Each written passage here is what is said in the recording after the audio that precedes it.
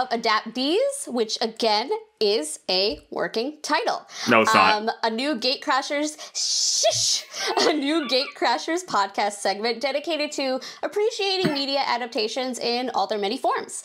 My name is Amanda, and my pronouns are she, her. I am Jon, and my pronouns are he, him. Hi, my name is Amir. My pronouns are he, him, or fucking idiot. So there you go. Whatever floats your boat. We got him back. We we are so excited to be talking with you today about The Accidental Billionaires by Ben Mezrich, or as most people commonly know it, or might not even know at all, is The Social Network, which was directed by David Fincher. Um, so I have I I have been famously on record as saying that this is one of, if not my favorite movies on the planet because I am social media shill. I think this is also one of the movies the three of us bonded over in college. Yeah. It was! Uh, this was our movie. And then we found out we all like the Fast and the Furious. we have two of them. Um, we have two. Um, but yeah, so very excited to talk about the social network, which I did not know was a adaptation of a book, probably until like three or four years later, like after the movie came out in 2010. Um, it may have even been not until I started working at Simon and Schuster when I started working with Ben Mezrich, and I was like, "Is this the Facebook movie book?" All right, humble brag. You met the author. I didn't meet him. I have emailed him to be like, "Hey, All right, it's like send a me your stuff." Step down. um, but yeah, I was very surprised, um, and so I thought this would be a really interesting one to talk about in terms of adaptations because I feel like a lot of people don't know that the social network was adapted from a book. Did did y'all know that before I told you? Amir, you Uh, want to go yeah. first? Yeah, yeah. I yeah, I knew. Um I think I had read that it was being adapted, and of course when Sorkin won Best Adapted, it was kind of just like, okay, yeah. But um I never read it. I had only ever heard of it. Um and I it was only until you came to me and was like, hey, we're doing this episode. That I was like, cool. I uh it was gonna be a good opportunity to read it. So um this is the first time I've ever read it. It was this year. So yeah. Yeah, put that ma and pa class to work. yeah, yeah, no, this is the, the fucking Google Docs is giving me tutorial flashbacks actually. So this is Amir, uh, do you want to just run past the microphone yelling, I want to be an airborne ranger for old time's sake? I'll do that. I'll do, I'll do that at the end of the episode. Just remind me to do it. for a good soundbite.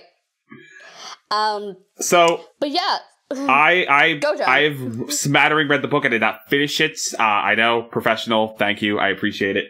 Um, so I knew of the author. I knew it was a book because I read the author's other bi- biography, and I've only read one of his other books, and it's the book about the card counters who were MIT students, which got made into the most beloved 2000s movie, 21, which everyone remembers.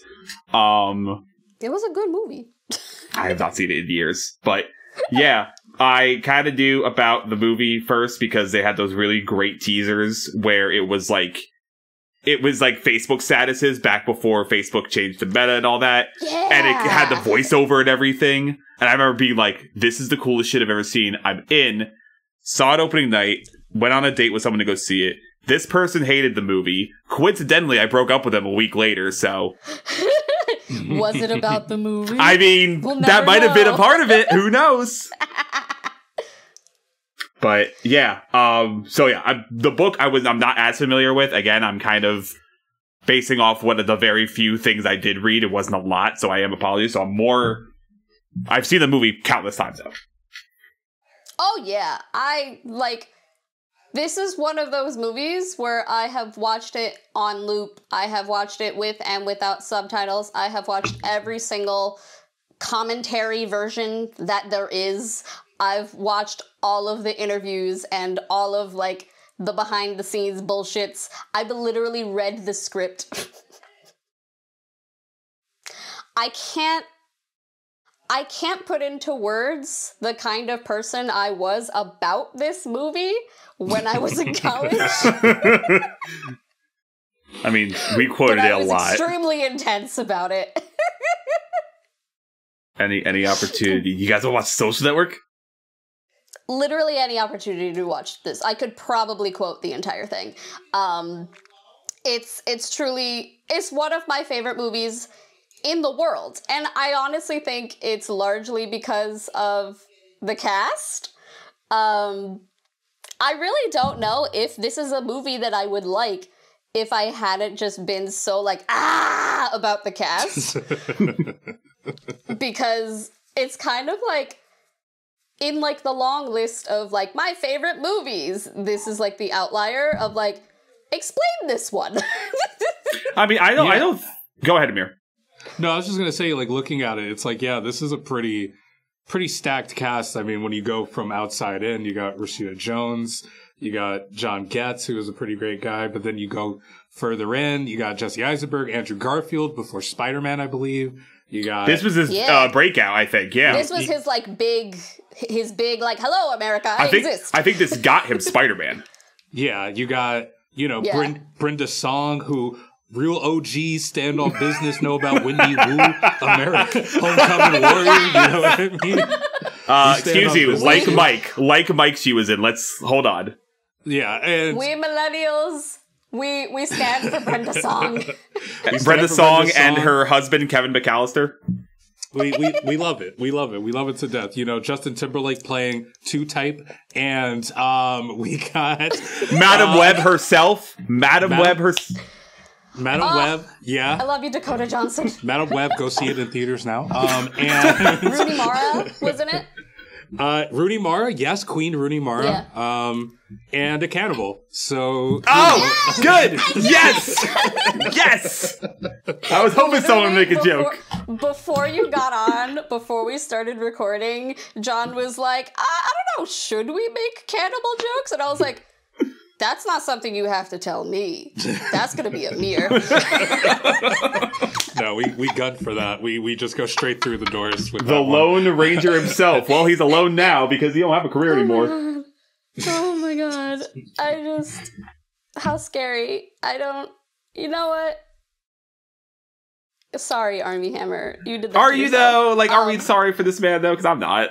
I'm not sorry for Armie Hammer. I'm sorry about Armie Oh, Hammer. that's fair. That's a more better one.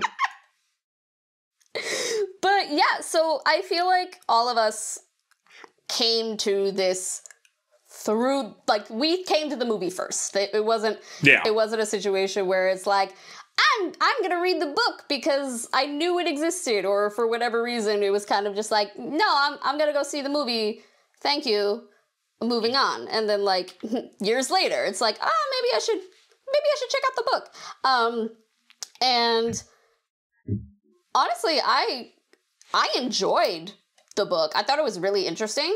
Um, I feel like there's a lot about the book that's kind of like really different. I like the narrative structure. I like the the, fact that it plays like a book and not like you know, uh, here are the facts. This happened, then this happened, then this happened. Like a Yeah, yeah, it's it's definitely a more like creative nonfiction narration than it is like here is the timeline and history of Facebook and of Mark Zuckerberg and like that whole situation. Um I I feel like so much of the way that book was marketed and the way that the accidental billionaires was kind of made was to be like hey do you want to hear this really really fucked up story about some weirdos in college? Also these weirdos are famous now. Yeah it's um I, I i think when i read it again i had no expectations going into it what it was going to be like. Um i you know the creative nonfiction aspect of it was made it much more palatable to sort of get through um and it kind of reminded me of another novel i read masters of doom which kind of does that whole thing about the guys who did doom that's another story but um you know that whole aspect of just following and developing not only just a timeline, but like a sense of place of Harvard at this particular juncture before mm-hmm. transition. It was like a, you know, like just a massive thing. And it doesn't shy away from college sort of behavior and thought. Like it's very like, there are moments in the beginning of the novel that are very cringy um in terms of yeah. oh when you first meet eduardo in the novel and how he's just getting into the phoenix how he's oh, yeah it's that and I, you know that part where and i'm glad they kept the line in the movie because it's one of my favorite lines despite how fucking cringy it is now. And it's him talking about it's not like asian girls like me it's just that asian girls are attracted to like that whole bit about like asian girls and like jewish people is like all right all right i'm not whatever. But um you it's know. one of those things where it's like, okay, yeah, I can, I believe that this happened. This, yep. it's like, oh yeah, college kids are fucking stupid. They'll say whatever. It's like, yeah, I get it. yeah, or they'll do dumb shit like make a website where you rank the hotness because you were scored? Question mark. Yeah, and it's definitely like, I think something that I really like about the book and the movie and kind of just like the context surrounding it is how much everybody is like, no, this fact. And Mark Zuckerberg is like, no, it's not. It's not a fact. And we're like, you can't prove it. Mark Zuckerberg's out here jumping in front of the screen, waving his hands around and everything, trying to be like, pay no attention to the people behind the curtain. Fucking alien looking motherfucker. Also, like, I personally feel like he should be thanking the movie. because the book, like in my opinion, the book kind of makes Mark Zuckerberg sound even more like a sociopathic robot oh. than because the like the dip like I think if I isolate the book and just think like okay this is Mezrich's portrayal of Mark Zuckerberg I wouldn't automatically be like, that's a sociopath. That's a robot. No, for what I but did, they made him like put it. Yeah, yeah, they kind of like slowly get to that point. Whereas yeah. in the movie, it's just like sociopathic robot, automatic. I mean, I don't. But see, the thing is, I don't see him as a sociopathic robot in the movie, and I think that's because of Jesse Eisenberg. It's because Jesse Eisenberg because, playing the ultimate weird little dude. Well, that's just that's that's everything that Jesse Eisenberg plays. I know, but this is like the ultimate weird little dude out of every weird little dude performance he gives. He he is he is alt he is alt universe Michael Cera, but I do I peace and love to both of them. I love them to death. Um, but I do agree with you, Amanda, in terms of the characterization of Mark in the movie versus the book. In the book, um, which is kind of characteristic of all these creator, entrepreneur, nerd types like Bill Gates and um, uh, I'm sure there's another one. Jeff Bezos could probably count, maybe even Elon Musk. Sure I was gonna say, do we want to count Elon Musk in that conversation? Because like, I think I think it's fair to count him, but it's just this idea that these guys are like squirrely and they're nerdy, and it's like, yeah, you know, like the nerdy guy like finally got to do the thing that was like super cool. He got back at society, blah blah blah, and then you read the book, obviously, and it's like.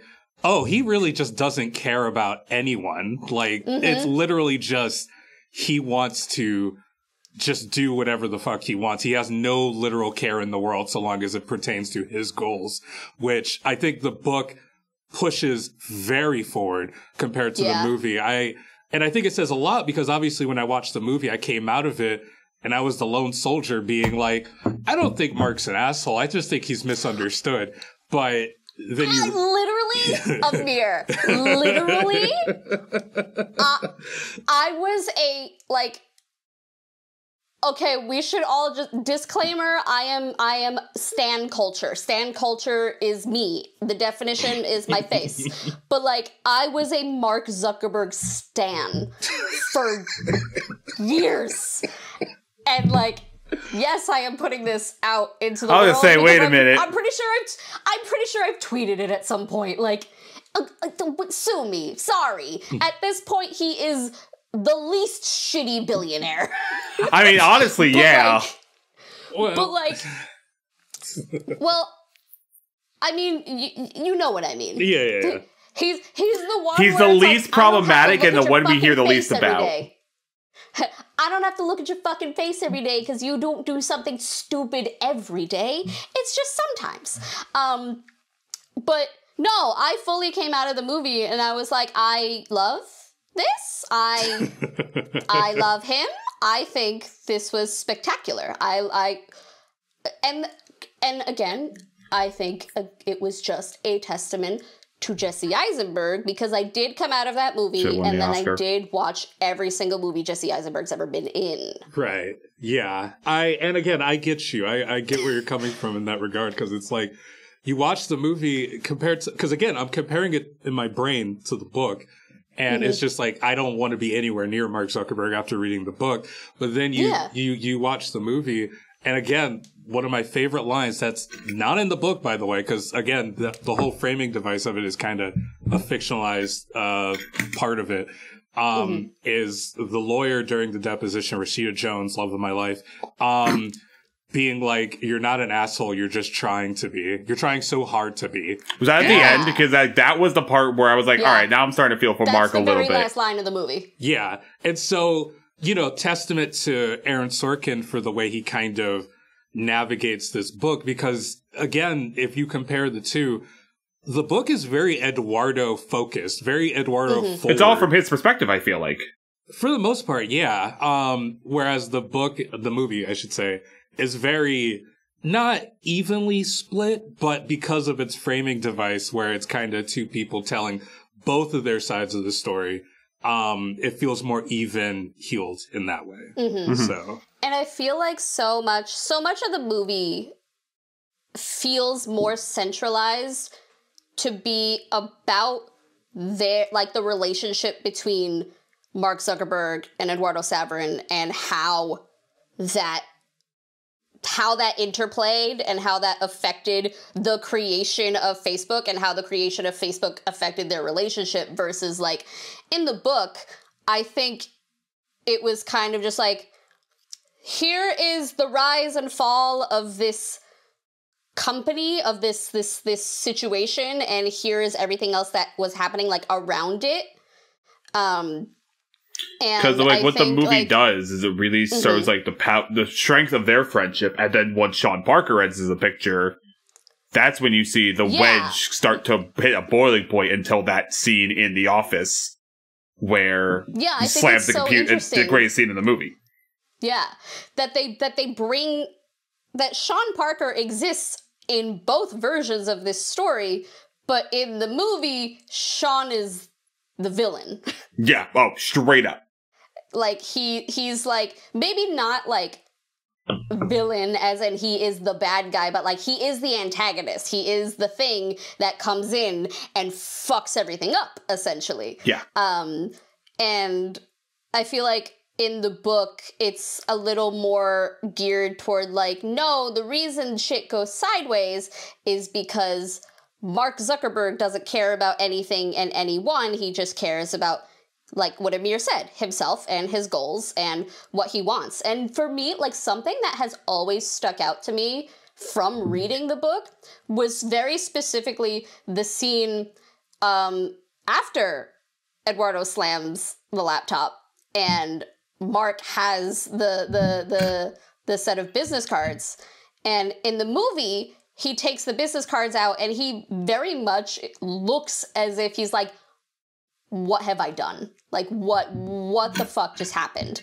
But in the book, it is cast much more in the vein of like Mark being like, I win. Uh, he's Mandark. Yes. he is, yeah, he is, he's, um, I can't even jump off that joke. That's a really good one. Um, but, but I do, uh, yeah, I get what you're saying with that. Um, yeah, it is, it is very much in the movie a very Ozymandian sort of, uh, Downfall. To, yeah, like, cause again, it's not even like the, the downfall of like a company, but it is very much a downfall of like the Once most, humanity. yeah, yeah, not even like well, maybe to take it a step back from humanity because it's like Mark still kind of in some way retains it, or at the very least, I would like to hope he does uh, towards the end of the movie. But it's it's sort of just this the most important person in his world um at that period of time that we've been led to believe was Eduardo because Eduardo was there from the beginning. So to just mm-hmm. see it sort of in that way, um, not even because of like Sean in the movie at the very least, but just because of like circumstance and because of just like even he says in the deposition, it's just like, oh well, you you were a businessman and you made a shitty business deal, and it's like that's a very crass and cold way to look at it, but mm-hmm. Mm-hmm. you know, Mark is very much trying to be like hey look this isn't this isn't me you know what i mean like you know and we all yeah. we all can obviously see through that we can read the lines of it obviously a stark contrast from the book where he very much is just like you know you brought this on yourself bro. Like you read the papers. Like you knew what this was about. Like blah blah blah. Mm-hmm. like this ain't got shit to do with me. Um and you know again it's just it's so interesting how he just how aaron just crafts that how he just uh how he makes that work. So. Great writer, bad director. yeah. Just need to put that out in the mix, but is that why this movie doesn't suck? yeah, shout out to David Fincher. There's actually actually just a little side tangent, but there's a story I read where um apparently David and Aaron were going through the script before filming and David straight up told Aaron, like, yo, you got to cut some of this dialogue. Like, there's just too much going on. I remember that. that sounds like the I most David that. Fincher I, thing ever. Hmm. Which I think is so interesting for like him to say and for I think it's so funny the idea that there was more.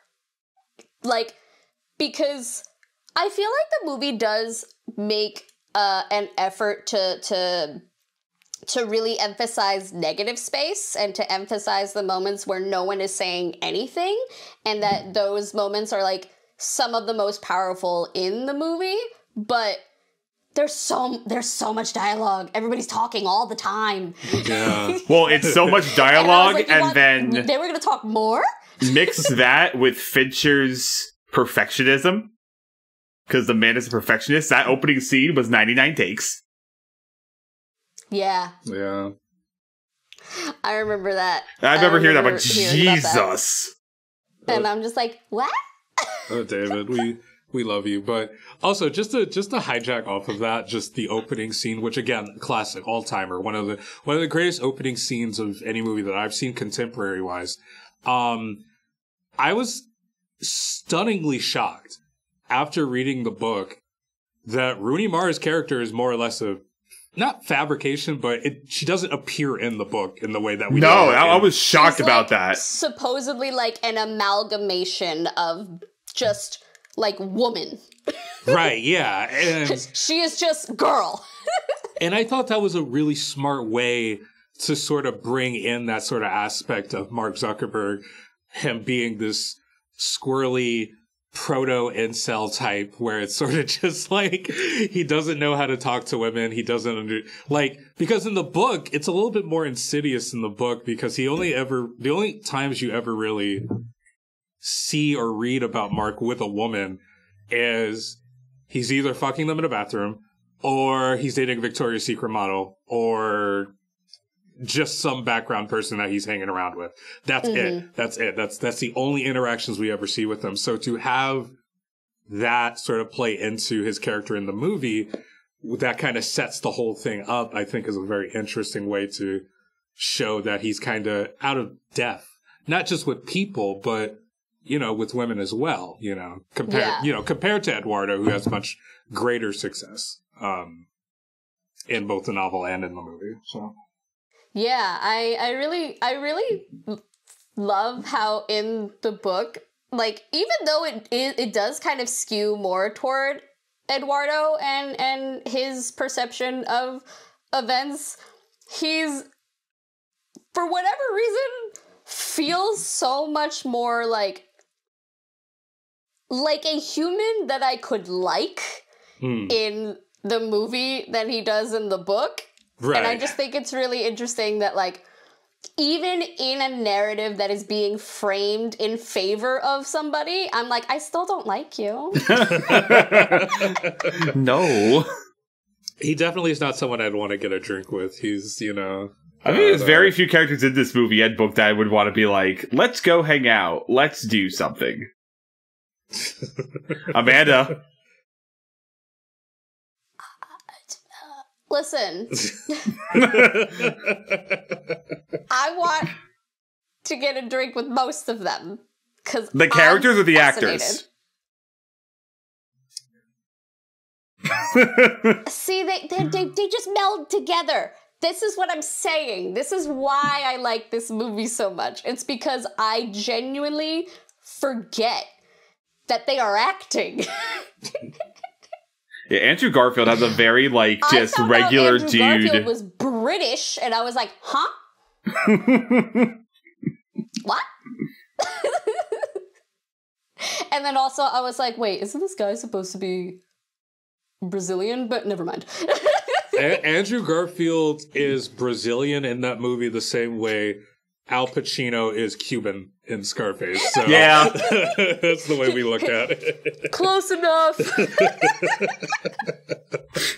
Um, yeah, no, I, you know, again, shout out Brenda Song because she's again uh, national treasure, she the people's princess. Um, she went harder than anybody else in that movie. I don't care. I Like, yeah, I- she's the runaway she in that took, like, movie. 20 minutes of screen time and she said, You're gonna remember me.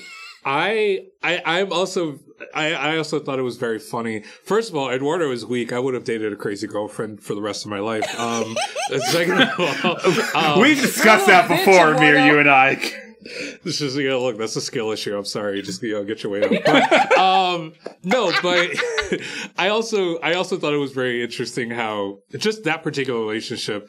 Um, how in the novel he's pretty much just like, God, she's she's crazy girlfriends. Haha, shrug. Um, and then she ends up burning down like I I can't remember if it was like the college dorm or the apartment or like something, but like the entire place gets like torched. Whereas just in the movie, it's um a trash bin on a bed Mhm. and it alludes to the the idea that the entire place goes up in flames um which again you know so hey look listen that's uh it's really hot honestly literally um so Brenda Song, I would let you burn down my house. yeah please please call me um It would be the free Suite life, wouldn't it?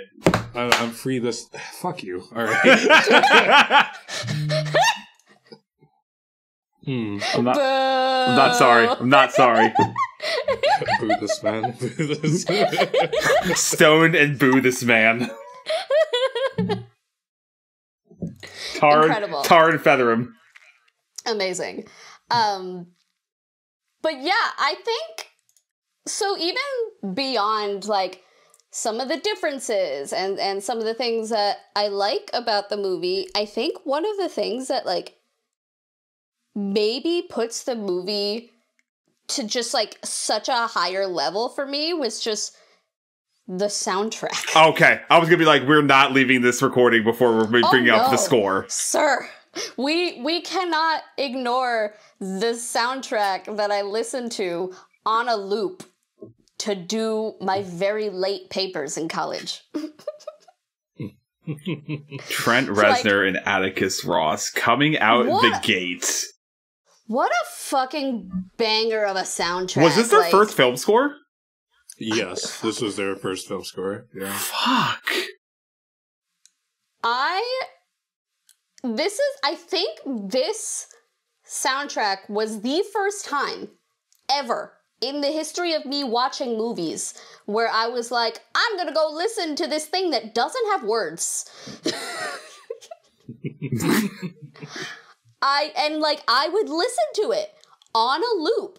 Hand covers bruise is one of my favorite Oh. pieces of sound. Like every time I think of that song, I think of the scene in The Office where he finds out his shares have been diluted. AKA one of the It's greatest just- scenes in cinema. Just the music, that song especially. But uh their in the Hall of the Mountain King cover is kind of sick too. in the Hall of the Mountain King when the, during during the, The rowing. during the rowing. Oh my god. yeah Fucking iconic. And then they lose. Let me tell you something. 2010 was a heck of a time for bands slash techno slash artists to just go into film scores between this and Daft Punk. Yeah, shout out Daft Punk doing uh, Tron Legacy real quick, just just the one time. Um, no, yeah, the the the score is pure magic. I don't think up to that point I had heard anything quite like it. Um, and this is obviously like obviously you've heard electronic scores before. You know, Jon, uh, you know, Van Vangelis and Blade Runner is like a massive Yeah. big deal for a lot of people. Tangerine Dream Um, for so many and Thief. Right. Ta- yeah. Tangerine Dream and Thief and, you know, like these scores are, are very big. It's, it's not a new thing to make electronic score, but there's something about the way that Trent Reznor and Atticus Ross make and craft not even just music, but soundscapes that just complement ominous feelings about this movie. Like the whole movie has a very that first track, I like I, I believe it's Hand Covers Bruise, is Yeah. so ominous that you wouldn't think that it would be linked to a movie like this. You would think it would be for like a horror movie or something like that. Yeah. And I think yeah, and I think that misdirection is so good for the movie. Um, And it sets the you- tone too. Like I remember, I think that's I think you hear that in the opening credits after Rooney Mara breaks up with him. Right, yeah, and you're Yeah. just and you're just like, okay, something bad's gonna happen. And you look You at just- Harvard and it's like makes it so so foreboding and just not even just not even just foreboding, but just lonely. Like I think of that image of like him running back to the dorm and he passes by just a guy practicing violin or viola or whatever sh- stringed instrument and it's just him by himself and I think that really sets the the vibe of what's of what's going on here. Um and you know again the next track in motion which by the way I just need to say um very interesting of them to have actually shown us what the quote unquote fuck truck was. Uh, in the movie, I just kept hearing that that phrase in the novel was like, "Oh right, yeah, this is yeah, okay, yeah, college, got it." Uh,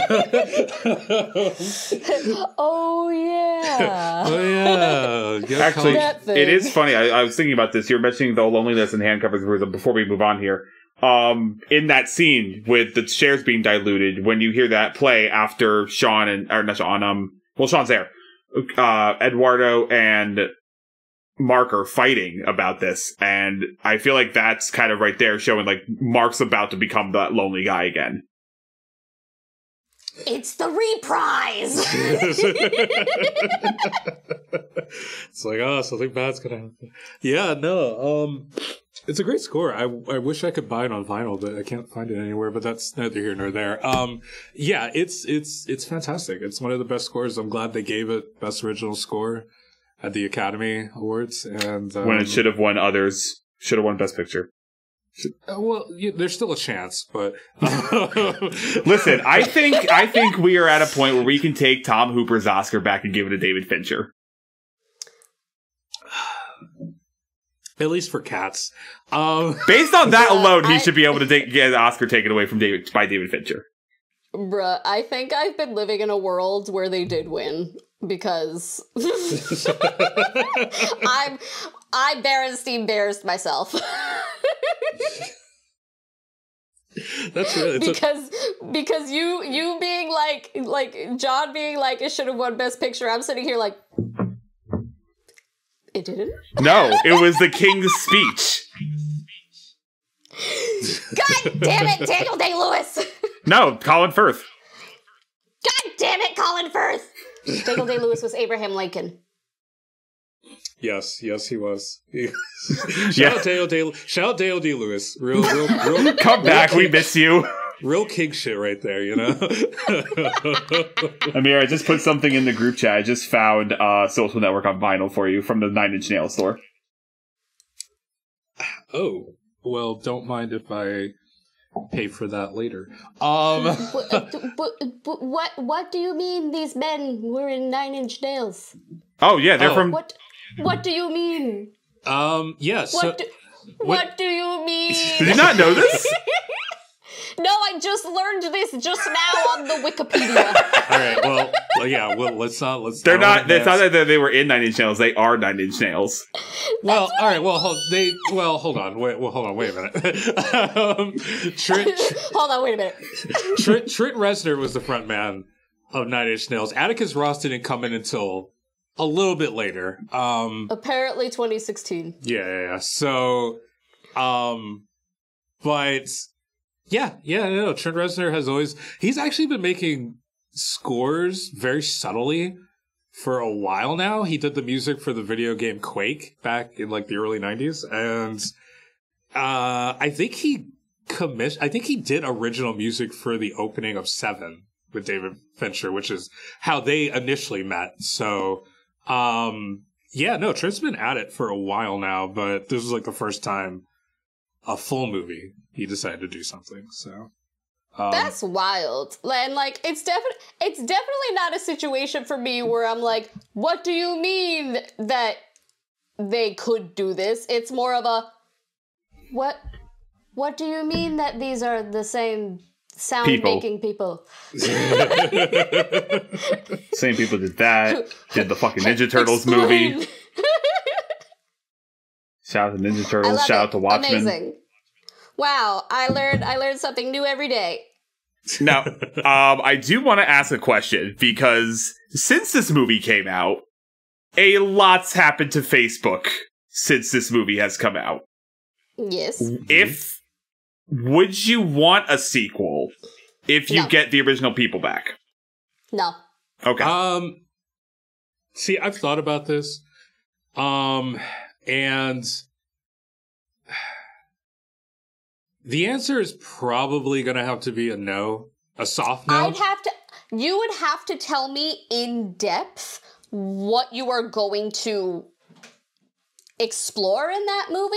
yeah, because there's a lot. I just I just I just don't think that that there is a way to talk about the years after and still keep any kind of humanity in it. Honestly, Unless you go like the Um, Steve Jobs route and you do like three different sections. unless you go the Steve Jobs route and you do two movies and you go pick one. Um, Knowledge the Apple II, Steve.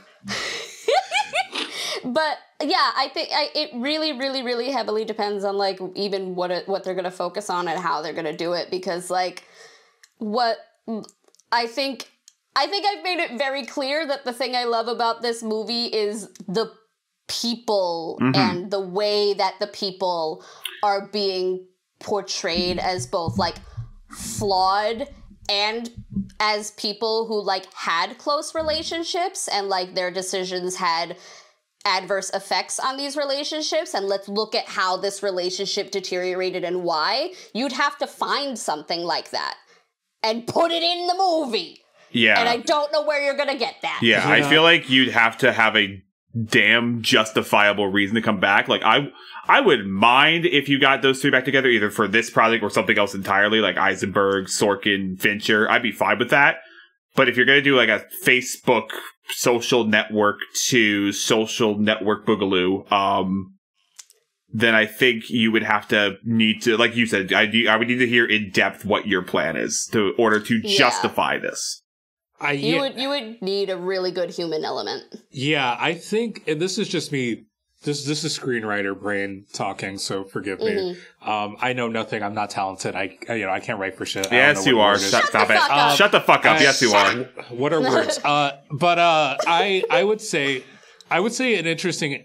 And again, I don't want this, by the way, because just because what we know about Mark Zuckerberg now, I don't I don't need another movie about a billionaire living a life. You know what I mean? Like that's just I don't Yeah. need it. Yeah. I just it, it does nothing for me. But if they were to go forward with that whole aspect, it would probably have to focus on him actually getting married. And it would have to focus on that relationship and like this Yeah. idea of like this contrast of um oh, he finally found love. And he's finally learning how to deal with that. And he's finally learning how to maintain that. Meanwhile, Facebook is off the Ooh. rails and that's all coming apart. for Like, him. show his marriage while all this is going on in the background. Yeah, because uh, you know the way the social network is is framed and worked um, is that in order for Facebook to become a thing, he has to lose an important relationship in his life, and that's Eduardo. In order for him in this hypothetical sequel, in order for him to have this relationship and this marriage work, Facebook kind of has to fall to the background. That's the only way you can make that kind of work as two movies. Um, and I don't think people are going to be interested in that particular aspect of it Mm-hmm. because no one cares about billionaires falling in love in that way. Like it's just not. Yeah. It's not. And this is something it this is something that would have had to like come out immediately after yeah. the social network because like Mhm. at this point like 14 years later too much shit has gone down with Facebook as the catalyst and with Mark Zuckerberg as the catalyst. Like if if this movie did not come out in 2010 and like you said hey there's a Facebook movie coming out and it's 2024 everybody would be like fucking so? Like hmm who wants that? No one wants that. And i like i think that's like part of the reason why the movie was even successful in the first place it's because it came out at a point where people were like tell me more i want to know more about this secret little man Yeah, because I was like, a Facebook movie. I guess we're really doing everything as a movie. Okay, and then I saw the tra- that teaser trailer. I'm like, oh wait, never mind. This looks good. Yeah. It's like it's like, yes, tell me how that happened because you're clearly framing it as something that was like dramatic and traumatic. And it's kind of like if MySpace Bill had like a really dramatic finding of MySpace.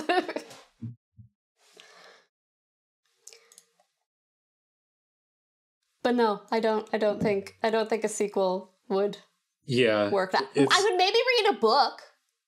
If Mezrich Like- wrote another book, you mean? If Mes- if Mezrich wanted to write another book being like from 2006 until today, I'd be like, yeah, I'd read that. But I don't know if I would watch that. Right. Because I feel like they're two very different. It, it, like at least to me, like the act of reading something and of watching something are two very different experiences. Because like when I'm reading something, I feel like I am taking the information into my brain, and it's kind of just like going into a box, and I'm like, okay, I'm done. Versus like I watch a movie, and then I tattoo it into my brain and like I can repeat it on a loop. Um, which is something that I, I find that I can't really do with books. So I don't I don't want it to be on a loop if it's not going to be fun for me. right. right. I That's you. fair. I- But it would be interesting. Um and I think it's I think it's something that would be really cool again if it was like 10 years ago. Yeah, I, I think that's the other thing too. Is a lot's happened, and I think the time at this point has passed. At this point I think they'd have to have two I they'd have to split it into like two or three or you just do like a, because, a limited series. Yeah, because like realistically the the accidental billionaires covers like 3 years? I think like Maybe. while all this shit's going, if, if you do do it, while all this shit's going on, you just come back to Andrew Garfield. He's just chilling on a beach somewhere, just having the time of his life. Eduardo Saverin's just chilling. Andrew Garfield, what are you up to, man? He does, he gives that weird face he gave at the Oscars, where he's like, I, I don't know, buddy. I'm I'm I'm not dating Emma Stone. I can tell you that. no idea. No. Yeah. R.I.P. R.I.P. to that. Um, but Jon, I see you have some fun facts here. Please regale "Oh, me. did I? I forget that I had some fun facts. I didn't know what I had written down. Hang on. Your your Sean Parker fun fact. Oh yeah, where did I? Hang on, let me get that up. Hold on. I He's the founder Yeah, of Napster. so- Sean Parker originally not going to be played by Justin Timberlake. Um, Jonah Hill was going to play him, but David Fincher said no. I just, I don't know. I don't know. This, I don't know. this would have been two years after Superbad, Jonah Hill. right, and that puts it into a context where I'm like, why? That's why I'm like, we we we weren't there with Jonah Hill yet. I don't think we ever would be, but we're not. We weren't like. It's not. It's not Moneyball Jonah Hill. Yeah, I feel like if Moneyball and Wolf of Wall Street had already happened, that would have made more sense. I would have been like, oh, okay, I can maybe see it. Yeah. Um, you know, at this point in the world, both Jonah Hill and Justin Timberlake suck, so they both work. Wild that this is that this is the movie that got Justin Timberlake to get. This is a movie. This is a movie that was like, hey, yeah, the suit and tie music video exists because of this movie. Yeah, I mean, L- uh, Listen, he plays a paranoid jackass very well because he is a paranoid jackass. Justice for Brittany. What? justice for uh, J- Janet Jackson. Yeah, That that, too. too. Stand, standing on business for that one. Um, yeah, I mean, Jonah Hill. Look, I, I've I've always felt Jonah Hill was a capable actor, regardless of how stupid he is now these days. But um, you know, he's I just, but I just feel like at that moment in time, it's like if you looked at what he had done at that point, I would have been like, I am confusion. Yeah, I mean, it definitely would have been a shock, but I see why this was a thing. I, I can see why he Mhm. was attempting to do that. I can see that he was trying to shake that sort of fat guy comedy image. He wanted to do something serious. I don't. Yeah. I don't think this would have been a good fit for him. I think Justin Timberlake was perfect for this role. I can't imagine anyone else being this role other than Justin Timberlake, um, who is such a skis. Um, He plays and- slimy really well. So well. which is which is I think very funny to me because I feel like everyone in the movie compared to the novel got softened down maybe just like a little bit and then Sean Parker is like one to one. He got. He was literally. They were like, "No, this is a crazy bitch, and he needs to stay a crazy bitch." it's he is he is a psycho. He is crazy. Um he is He brought minors to his party at the end. Which I just want to say, throughout the entirety of the social network, we've been led to believe that Sean Parker is a skis, so that when he does get to the party and he gets busted with underage people, it's not that much of a surprise. I was No. very much surprised in the novel when we finally got there because at that point it was like, oh yeah, he's just kind of like a weird guy that I don't really want to Yeah. be around. But Mark idolizes him for what he does, and I guess I get why the two of them like each other.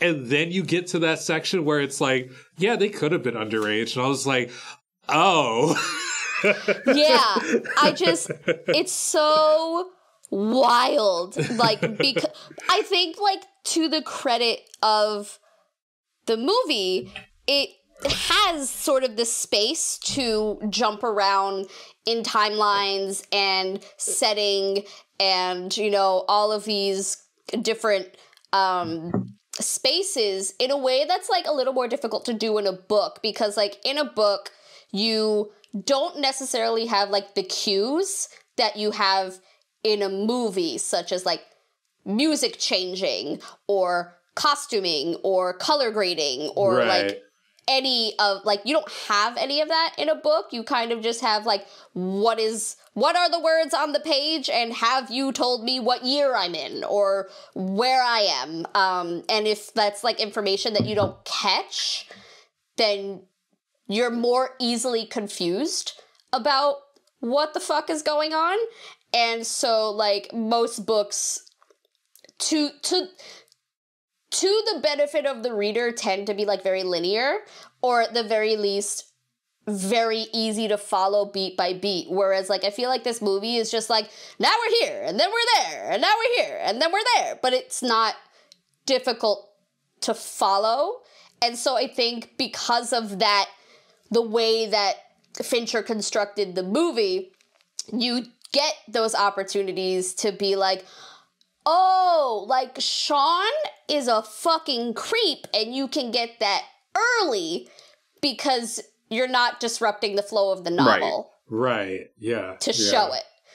So like like getting to getting to that point, getting to the party in the movie, you're like, yeah, I expected that. Versus Like, like, even at that Amir, first said about meeting- getting to that point in the book, Even at like, that huh? first meeting with all, we got the vibe. And then when he, I mean, and that was a funny line, but when he says, drop the the, that's the way he said it. Just the way he said it, I was like, drop the the.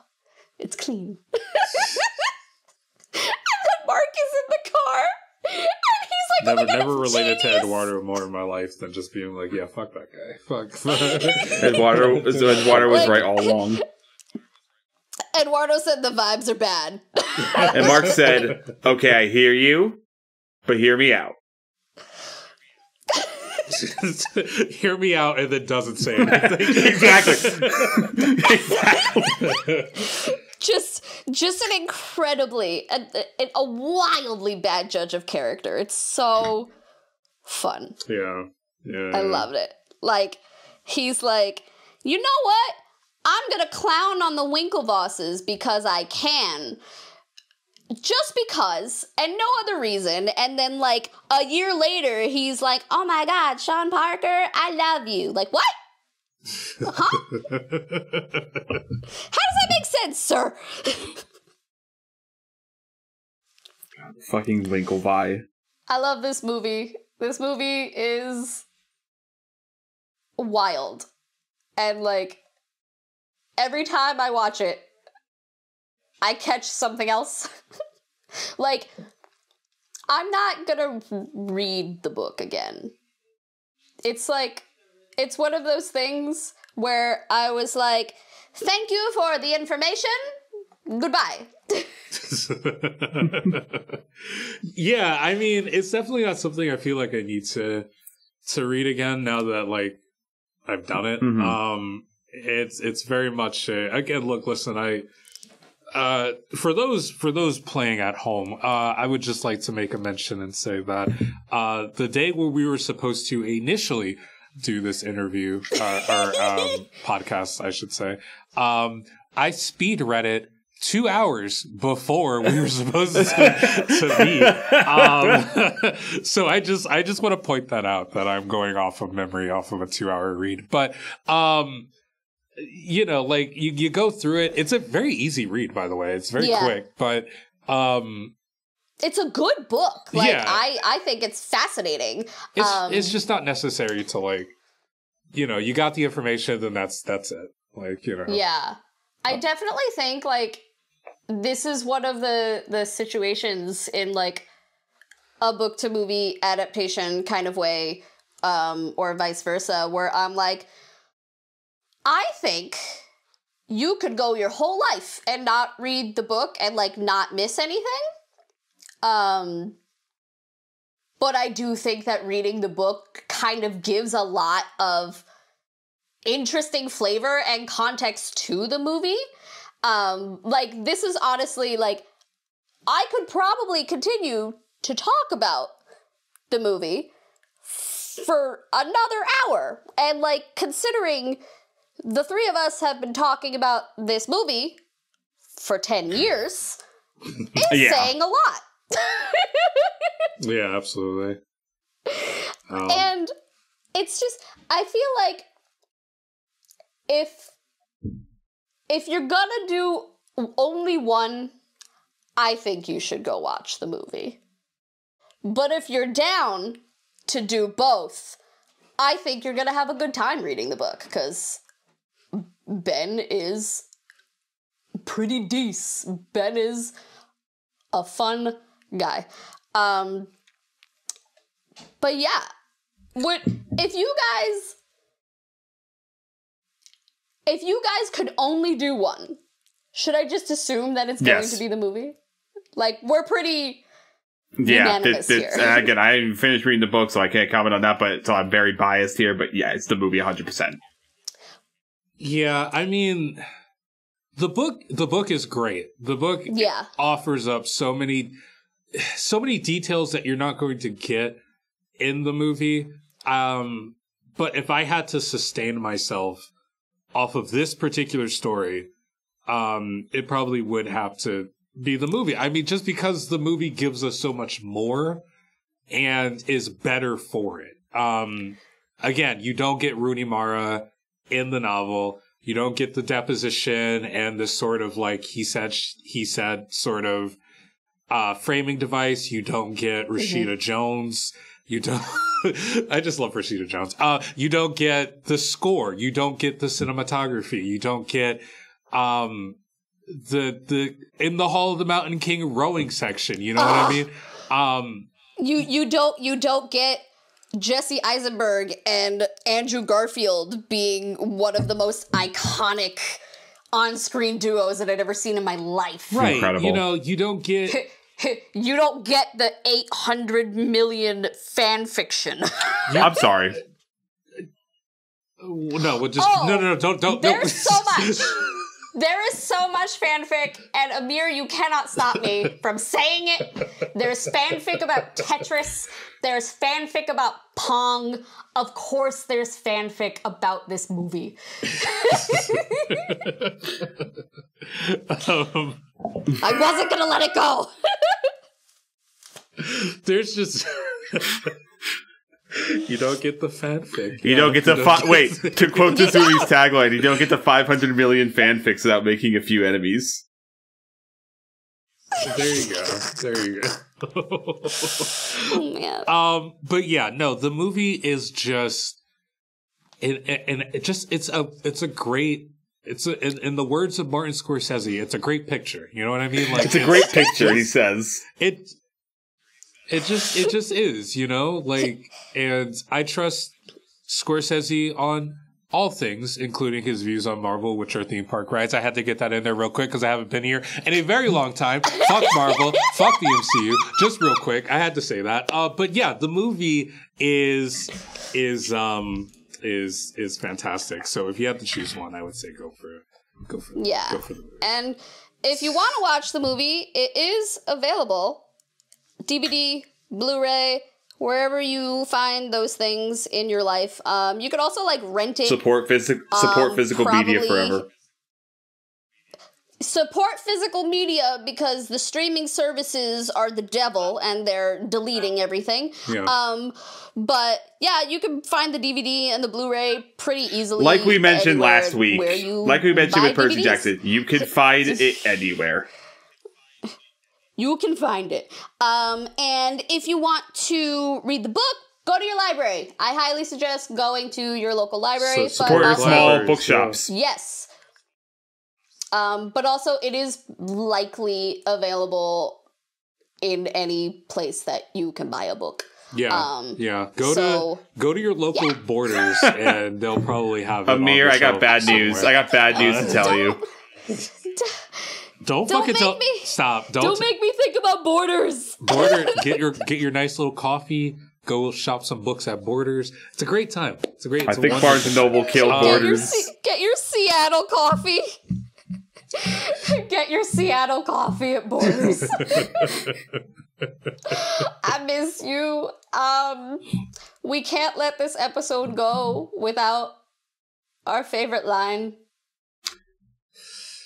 Okay. Jon, Do you want me? I, I mean, I don't know if I'd be able to yell, but sorry, my bra is at the cleaners, along with my hoodie and my. along with my hoodie and my fuck you, you pretentious douchebag. Pretentious douchebag. I love you guys. What a film. love you guys. Love y'all too. Thank you for doing this one with me. No, of course, absolutely. Wouldn't miss this for the world. Bye, friends. We're gonna stop recording now. Yeah. I want to be an airport ranger. I want to be an airport. all right, good night, guys. Love all. Love all.